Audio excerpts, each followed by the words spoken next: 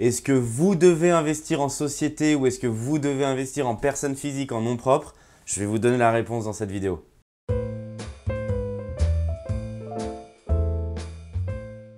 Je m'appelle Mickaël Zonta, je dirige la société investissementlocatif.com et mon équipe et moi-même nous accompagnons des centaines d'investisseurs sur le marché immobilier à Paris, à Lyon, en région parisienne, sur des opérations immobilières très rentables. Vous m'avez sollicité en commentaire sur cette question, est-ce qu'il faut que j'investisse en nom propre ou est-ce qu'il faut investir en société? Et je voudrais vous donner mes conseils afin de vous aider à choisir en fonction de où vous vous trouvez pour votre situation patrimoniale, en fonction de si vous êtes débutant, intermédiaire ou beaucoup plus expert. La première chose, c'est que je rencontre beaucoup d'investisseurs débutants qui arrivent et qui me disent je veux absolument, Michael, investir en société, euh, que ce soit en SCI LIS, que ce soit sur une foncière, pour une première opération. Alors, mon conseil d'emblée, c'est toujours de démarrer par petit pour se rassurer. Ça ne sert à rien de partir dès le début sur une première opération dans des montages extrêmement complexes qui vont de toute manière vous faire peur et vous générer de la frustration ou une anxiété vraiment importante. Une opération immobilière réussie, je le dis souvent, c'est une opération immobilière qui ne vous génère pas de stress en fonction de l'état d'avancement dans lequel vous êtes. Si vous êtes un investisseur expérimenté et que vous disposez de 30 appartements, euh, acheter un studio, effectivement, ne va pas vous inquiéter. A l'inverse, si c'est votre première opération et c'est normal, acheter un studio va vous générer du stress parce que vous allez vous dire est-ce que ça va marcher, est-ce que ça va être loué, est-ce que je vais louer au bon prix, est-ce que ça va être rentable? Le fait de débuter simplement par une première opération, ça va vous prouver que en 1 ça fonctionne, que c'est rentable et ensuite en 3 vous pourrez augmenter la cadence pour faire d'autres opérations et passer sur des opérations soit plus volumineuses, soit plus rémunératrices en fonction de votre avancée. Mon conseil est ce que je préconise. Il n'y a pas une seule bonne réponse vous allez, au cours de votre vie, je vous le souhaite, acheter plusieurs biens immobiliers. Vous ne devez pas donc soit acheter euh, tout en nom propre, soit tout en société. La base d'un investisseur, c'est de ne pas mettre tous ses œufs dans le même panier. Mon conseil chez investissementlocatif.com, c'est lorsque vous débutez en tant que débutant dans l'immobilier, commencez par acheter en tant que personne physique. Acheter en tant que personne physique, ça veut dire que c'est votre prénom et votre nom qui va être inscrit sur le compromis et l'acte authentique et que c'est vous qui détenez en direct, on appelle ça le bien immobilier. Au début, vous devez commencer sur cette formule. Pourquoi Il y a un intérêt double, voire triple? En 1, il n'y a pas d'intermédiaire et de société au milieu. L'argent que vous allez donc générer, soit quand le bien sera payé, soit parce qu'il y a un cash flow, euh, pour X ou Y raison, il va directement rentrer sur votre compte. Vous allez ouvrir un compte bancaire dédié à cette opération immobilière et le flux financier va directement arriver dessus. En deux, les coûts d'entretien, les coûts de structure bah, sont extrêmement faibles puisque vous aurez uniquement besoin d'un expert comptable qui va déclarer vos revenus en fin d'année. Le coût est extrêmement faible puisque le flux est extrêmement faible étant donné qu'il y a généralement en recette bah, que 12 virements, puisqu'on va comptabiliser que les 12 euh, loyers, et donc le coût d'entretien va être très très bas. Ce qui est intéressant, puisque vous vous rendez compte que si on débute par exemple par un studio, euh, je prends l'exemple, je me trouve dans un appartement à Paris, le studio va par exemple être loué 750 euros par mois, euh, ça va générer donc environ entre 8 et 9 000 euros de revenus locatifs à l'année. Si les coûts de structure représentent 1 à 2 mois de loyer, ce ne sera pas rentable. Donc ce ne sera pas intéressant. La troisième raison, et c'est celle qui est vraiment également très très importante, c'est que si vous achetez en direct et que vous faites de la location meublée, vous allez rentrer dans un régime fiscal qui s'appelle le LMNP au réel. Ça veut dire, c'est un mot barbare qui veut vous dire loueur meublé non professionnel.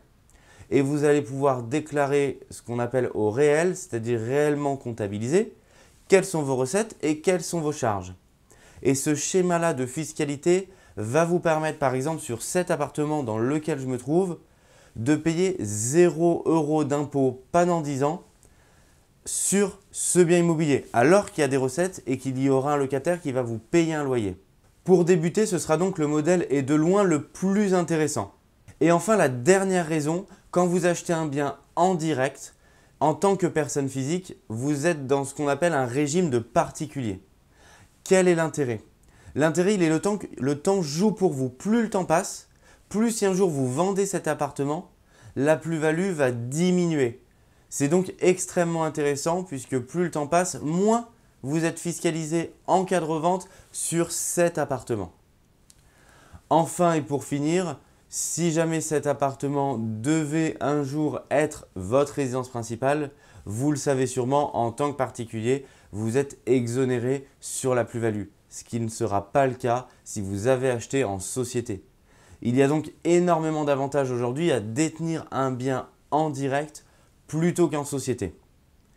Mais vous devez vous penser alors pourquoi certains investisseurs achètent en société euh, et pourquoi on entend souvent que acheter en société, c'est également intéressant Et je me pose donc la question, est-ce qu'il faut que j'achète en direct ou en société?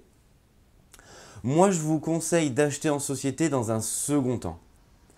Comme ça, vous aurez une première partie de vos biens en direct.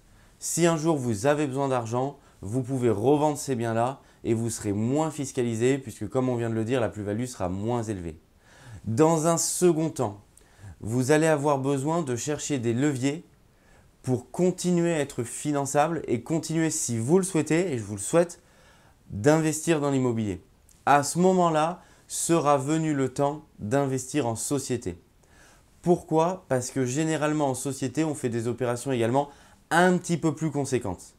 Les frais de structure sont effectivement un petit peu plus élevés, mais du coup, vous avez tout intérêt à le faire puisque ça vous permet souvent de lever de l'argent de façon plus conséquente en banque.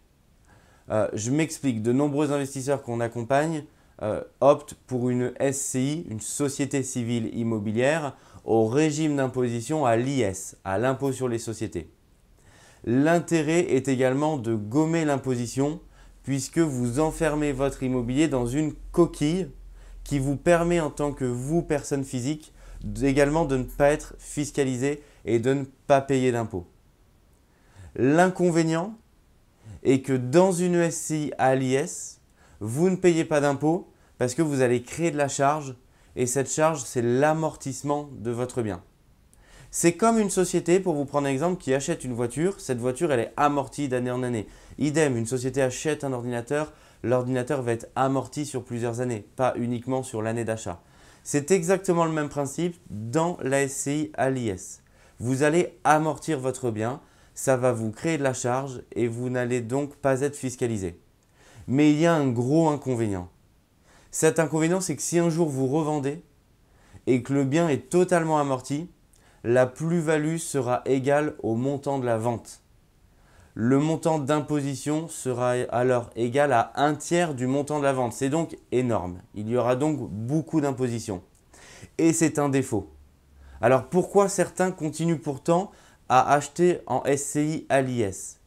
Parce que la SCI à l'IS, c'est un formidable vecteur, un formidable véhicule de rente. Ça va vous créer une rente.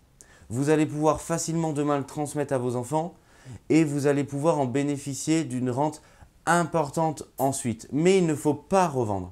C'est pour ça que mon conseil, c'est de disposer d'un premier socle de biens en personne physique.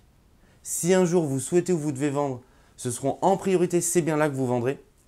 Et d'un autre côté, quand vous allez devenir investisseur plus expérimenté, voire expert et que vous avez un patrimoine immobilier plus important, alors à ce moment-là, pour chercher des leviers de financement et continuer à acheter, vous avez tout loisir d'acheter en SCI à l'IS que vous pourrez transmettre à vos enfants puisque c'est également très avantageux lors de la transmission.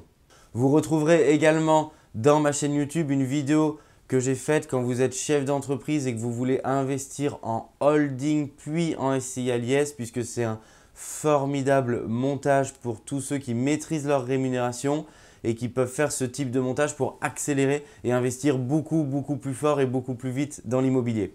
Si vous avez des questions sur la SCI LIS, si vous avez des questions sur le LMNP au réel ou que vous voulez que je traite un autre sujet, n'hésitez pas à le mettre en commentaire dans cette vidéo puisque le sujet que je traite aujourd'hui, ça m'a été demandé très récemment par un investisseur et chez Investissement Locatif, on tient ses promesses et donc je vous réponds avec cette vidéo.